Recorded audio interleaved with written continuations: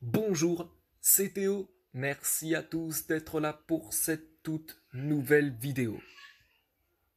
Et si Internet n'existait plus soudainement, que se passerait-il? Imaginez cela, et sachez messieurs que ce scénario est tout à fait probable et possible. Vous vous réveillez un jour, vous constatez que vous n'avez aucune notification sur votre téléphone étrange. Vous allumez votre ordinateur et tentez d'aller sur Internet, de lire vos emails ou encore de vous connecter à Facebook, mais rien n'y fait. Les pages sont tout simplement inaccessibles. Quand on parle d'apocalypse, on imagine souvent la même chose. Le monde envahi par des hordes de zombies ou autres créatures, ou des explosions nucléaires en grand nombre. Mais un autre genre d'apocalypse peut-être plus réel ou plus proche pourrait survenir à tout moment. Que se passerait-il du jour au lendemain si Internet venait à disparaître? Et si Internet venait à disparaître demain? Seriez-vous capable de naviguer dans une ville étrangère sans Google Maps? Cela vous rendrait-il fou de ne plus pouvoir effectuer des commandes?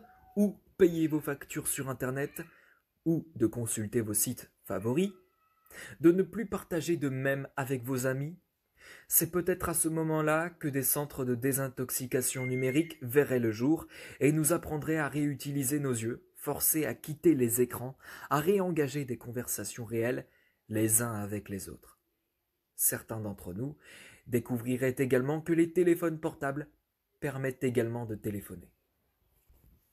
Selon l'entreprise américaine Cumulus Media, qui a analysé des données statistiques pour savoir de manière précise ce que les gens font sur Internet en une minute, voici quelques informations qui en sont ressorties. Il s'avère que toutes les 60 secondes, nous envoyons des millions d'emails, de messages. Nous publions des centaines de milliers de tweets, nous interrogeons Google avec de multiples questions, et bien plus encore.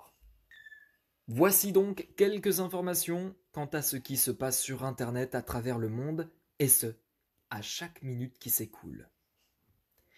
187 millions d'emails sont envoyés, 481 000 tweets sont postés, 38 millions de messages sont envoyés via WhatsApp, 3,7 millions de requêtes sont effectuées sur Google et quelques 973 000 connexions sont enregistrées sur Facebook. Et toutes ces données ne sont qu'un infime échantillon de la partie immergée de l'immense iceberg qu'est Internet. Bien entendu, si Internet venait à disparaître du jour au lendemain, le monde ne s'effondrerait pas. En réalité, il faut savoir qu'à l'heure actuelle, près de 4 milliards de personnes n'ont pas du tout accès à Internet donc, soit plus de la moitié de l'humanité qui ne remarquerait même pas qu'il a disparu. Mais, pour le reste de l'humanité, cette disparition serait constatée extrêmement rapidement. Peut-être que si Internet venait à disparaître, les utilisateurs des réseaux sociaux se téléphoneraient pour prendre des nouvelles ou organiseraient des sorties en extérieur, lorsque physiquement possible. Certains pourraient même envoyer des lettres à nouveau par la poste. Bien entendu, si Internet disparaissait, nous pourrions également oublier d'effectuer de quelconque transfert de fichiers informatiques hors clé USB, disque externe, CD, Bluetooth ou Wi-Fi. Car sans connexion Internet, ce serait tout simplement impossible. Cela fait maintenant 30 ans qu'Internet est apparu. En effet, c'est en 1991 que le World Wide Web, d'où le 3W, a officiellement été annoncé. En deux ans seulement, le nombre de sites web en ligne est passé de quelques centaines à plusieurs milliers. Très rapidement, Internet est devenu une entité d'une importance extrême pour de très nombreuses personnes, entreprises, institutions et pays à travers le monde. Mais si tout cela disparaissait Arriverions-nous à revenir à nos anciennes habitudes et infrastructures de l'ère pré-Internet? Quelles conséquences au niveau mondial? Certaines des conséquences d'un monde sans Internet seraient davantage ressenties par certaines générations. Un individu âgé de 85 ans trouverait très certainement cette disparition moins grave qu'un adolescent d'aujourd'hui. En effet, une personne âgée serait plus à l'aise avec un téléphone traditionnel pour appeler son petit-fils plutôt que de lui envoyer un message par texto. En plus de ça, les personnes âgées de plus de 40 ou 50 ans ont eu l'habitude avant de vivre dans un monde sans Internet. Donc, ça ne constituerait aucun problème, pour ces personnes de cette génération. À savoir que les messages texte via WhatsApp, Telegram ou toute autre application permettant de communiquer par texte avec d'autres personnes sont actuellement envoyés par dizaines, voire centaines, quotidiennement par de très nombreux individus. Donc, plus de messages envoyés par le biais d'Internet et plus de réseaux sociaux non plus. Au revoir Facebook, au revoir Twitter, au revoir Instagram, etc. En plus de tout cela, il nous faut penser à l'aspect économique de la perte d'Internet. Il faut savoir que les données financières sont généralement stockées sur des serveurs, donc les services bancaires dépendent tout simplement d'Internet. Tous les transferts électroniques seraient tout simplement impossibles. Cela signifie donc que vos cartes de crédit et de débit seraient inutiles et se transformeraient en de vulgaires bouts de plastique. Nous devrions donc également totalement repenser notre manière d'effectuer des paiements. En réalité, les transferts électroniques seraient totalement effacés. Les gens seraient obligés de rédiger des chèques de loyer, par exemple. Bien entendu, de très nombreuses pertes financières seraient ressenties pour de nombreuses entreprises à travers le monde.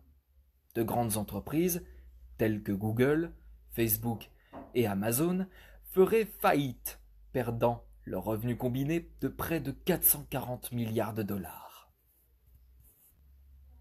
En fait, toutes les entreprises qui effectuent des ventes en ligne en souffriraient terriblement. C'est Discount, Wish, Le Bon Coin, ou encore Rakuten, Amazon, eBay, etc. Toutes les entreprises qui utilisent Internet comme moyen de publicité seraient également concernées. Tous les sites d'actualité, comme BFM TV, comme CNews, comme Maxi Science, comme Futura Science, ne pourraient tout simplement plus survivre sans Internet. De plus, les gens à travers le monde ne pourraient plus s'informer de manière autonome, quels que soient les sujets. Certains pays qui comptent beaucoup sur Internet pour contribuer à leur croissance et à leur stabilité économique seraient freinés dans leur élan et ne pourraient pas progresser comme ils le voudraient. Quant aux pays développés, ils perdraient des industries entières et feraient face à une crise économique.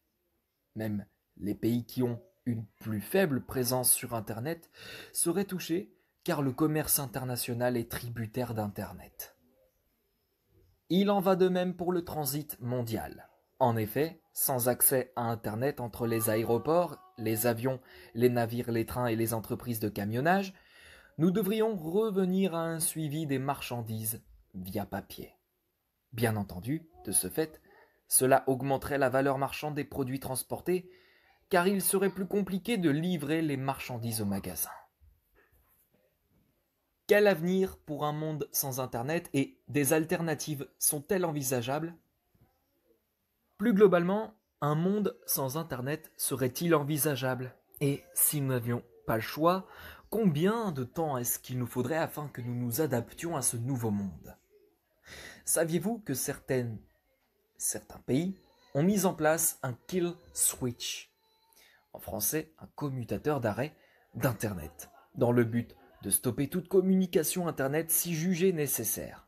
À savoir que le concept d'un kill switch d'Internet est basé sur la création d'un point de contrôle unique, c'est-à-dire un commutateur pour une autorité unique de contrôle, permettant d'arrêter Internet dans le but de protéger Internet même ou ses utilisateurs.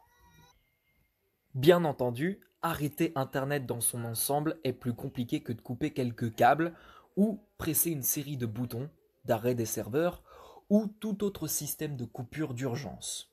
Internet est le réseau central mondial de nombreux autres réseaux informatiques. Et tout cela ne dépend pas que d'une seule machine. En effet, même si une partie venait à être déconnectée, d'autres resteraient encore fonctionnelles. Dans tous les cas, il s'agirait de la fin du monde telle que nous la connaissons aujourd'hui.